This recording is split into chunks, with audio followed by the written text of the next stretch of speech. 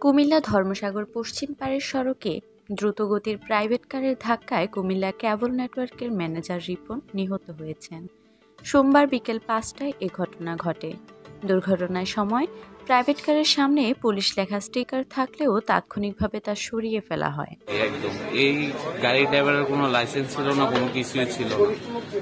এটা একদম মানে এই জায়গাটা দিয়ে এরকম ভাবে এত জোরে গাড়ি চালানোটা আসলে অ্যাকচুয়ালি ঠিক না। গাড়িতে ফার্স্টে পুলিশের স্টিকার ছিল তারপর পুলিশের স্টিকারটা উঠে লেছে তো আমরা এই ঘটনার আসলে সুষ্ঠু তদন্ত চাই এবং কি বিচার চাই এবং কি তার পাশে দাবি জানাচ্ছি আর কি দাবি জানাচ্ছি।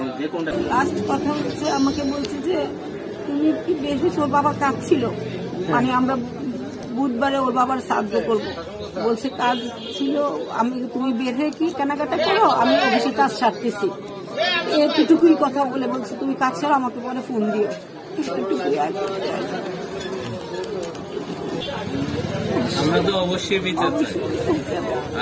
যে গাড়ি ড্রাইভারটা ছিল ওর কোনো লাইসেন্স এখানে দেখা যাচ্ছে গ্রাম গাড়ি ড্রাইভার আর রিক্সার ড্রাইভারের ঠিকানা একই জায়গায় ওদের বাড়ি। এখন আমি কিছু বলতে পারতেছি না। আমার স্বামী কোনো সত্য ছিল না। ওর মতন মানুষই হয় না। ওর অফিস থেকে শুরু করে যত মানুষকে জিজ্ঞেস করে সবাই ওর এই কথাই বলে। খবর পেয়ে পুলিশ ঘটনাস্থলে গিয়ে প্রাইভেট কার চালককে আটক করে। নিহতের পরিবার মামলা করার প্রস্তুতি নিচ্ছেন। নিহত রিপন মৃত জীবন কৃষ্ণের ছেলে তার মৃত্যুতে পরিবারের শোকে ছায়া নেমে এসেছে।